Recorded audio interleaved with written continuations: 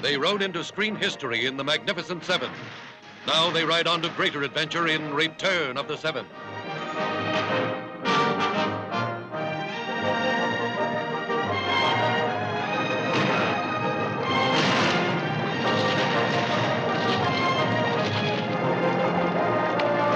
They were seven against 200, and the odds grew greater every second.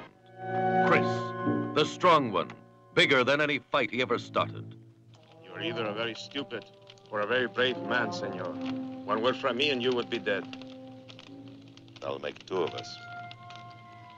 There are five Winchesters pointed at your head. Vin, the kind of man who fights best when the cause is good and the odds are not. Chico, he's a man of peace today, but violence is in his past and his future.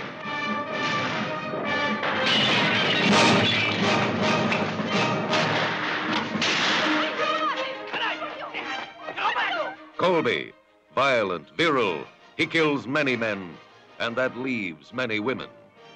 Luis, rough, roguish, spending his life like it was going out of style. That is his last request. Do you mind if I escape first thing in the morning? Frank, a man makes himself what he has to be, even if it's a target. I heard him talking out there. Lorca sent for help. Come tomorrow, he's gonna have 200 guns, maybe more. And he's not gonna settle for just us, Chris. He wants them all dead. Manuel, quick, wild, untamed.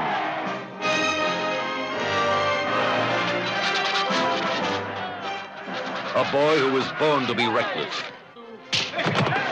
and made to be lawless.